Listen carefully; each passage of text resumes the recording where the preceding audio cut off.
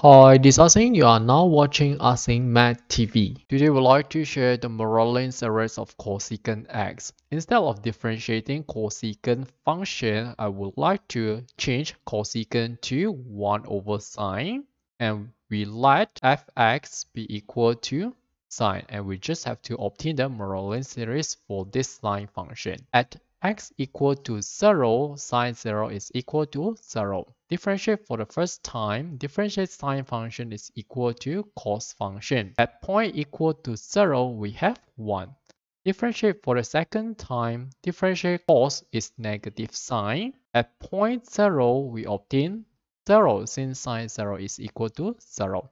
Differentiate for the third time, differentiate sine is positive cos positive, negative, negative. At point 0, we have negative 1. Since cos 0 is equal to 1. 1 times negative, we have negative 1. Differentiate for the fourth time. Differentiate cos is negative sine. So negative, negative, positive. At point 0, we have 0 again. Differentiate for the fifth time, we have cos. And at point 0, we have 1. Differentiate again, we obtain negative sine. At point 0, we have 0. Differentiate for the seventh time, we have negative. At point 0, we have negative 1. Since I have obtained 1, 2, 3, 4 non-zero terms, so I'm going to stop here and form the Maclaurin series of sine x. Recall the general formula for Maclaurin series, which is the n derivative at point 0 divided by n factorial times x to the power of n for n equal to 0 to infinity. So which means that sine x is equal to the original function at point 0 is equal to 0. So we can ignore this one. We start from the first derivative. So which means that we have 1 over 1 factorial. Since this is first derivative, so divided by 1 factorial. Then x to the power of 1. And we plus second 0, third negative 1 divided by 3 since it's third factorial x to the power of 3 plus 0 again and fifth we have 1 over 5 factorial x to the power 5 and 0 again followed by negative 1 over 7 factorial x to the power of 7 and so on. So we have 1 over 1 is equal to 1. 1 times x is x. And we minus 1 over 3 factorial is 6 x to the power 3.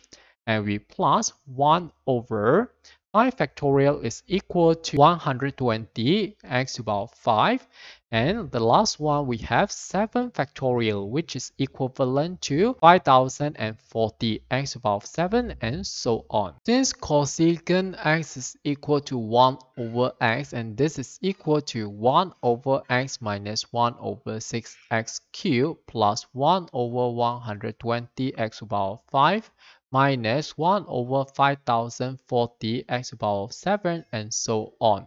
In other words, to obtain the cosecant x, we can apply long division. So which means that we have 1 is divided by x minus 1 over 6x cubed plus 1 over 120 x the 5 minus 1 over 5040 x the 7 and so on. The rules of thumb of applying long division is always reduce the first term to 0. In order to obtain 0, we have 1 here. So 1 minus 1 is equal to 0. In order to obtain 1, we need to times x by 1 over x. So 1 over x times x, we obtain 1. When we minus, we obtain 0. And times the remaining terms, we have negative 1 over 6x squared plus 1 over 120x power 4 and we minus 1 over 5040x power of 6 and so on. Again, remember always take the first line minus the second line. So we have 0 minus minus so plus 1 over 6x squared minus 1 over 120x power 4 plus 1 over 5000 40x to the power of 6 and so on. So the next term we should have plus 1 over 6x.